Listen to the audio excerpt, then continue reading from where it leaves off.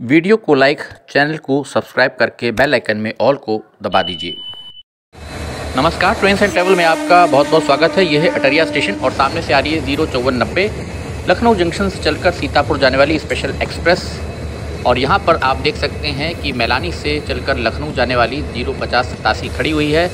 ये अटरिया स्टेशन है और यहाँ पर भी कुछ कुछ दृश्य आज वैसे ही है, जैसे कुछ समय पहले हमने आपको जब मोहिबुल्लापुर स्टेशन से लोकमान्य तिलक टर्मिनस का वीडियो किया था ट्रेन का, सीतापुर एक्सप्रेस का, किस तरह से रन थ्रू लाइन है देखिए जो बीच की, उस पर रेलगाड़ियों को रोक करके सवारियाँ उतारी जा रही हैं, जिससे कि जो सवारियाँ हैं, उनको तो असुविधा हो ही रही है।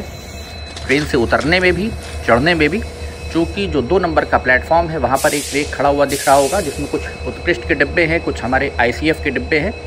तो ये आप देख सकते हैं कि रन थ्रू लाइन पर ट्रेन रुक दी, रोक दी गई है और जो सवारियाँ हैं वो उतर रही हैं। देखिए किस प्रकार से बैलास्ट के ऊपर ये शो करता है, ये दिखाता है पुअर मैनेजमेंट हमारे रेल अधिकारियों का।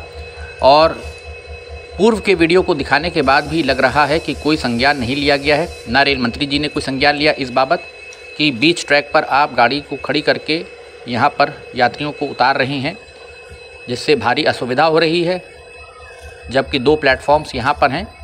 तो या तो रेक को आप रन थ्रू ट्रैक पर खड़ा करिए बीच में, ताकि जो ट्रेन्स हैं वो प्लेटफॉर्म पर आ सके और लूप लाइन से फिर प्लेटफॉर्म की तरफ़ से ही निकाली जा सकें आगे।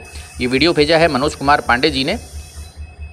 तो ये वाकई बहुत एक शोचनीय स्थिति है और रेलवे को इस बारे में गंभीरता से विचार करना चाहिए कि इस प्रकार की घटना दोबारा ना हो, यात्रियों को असुविधा ना हो।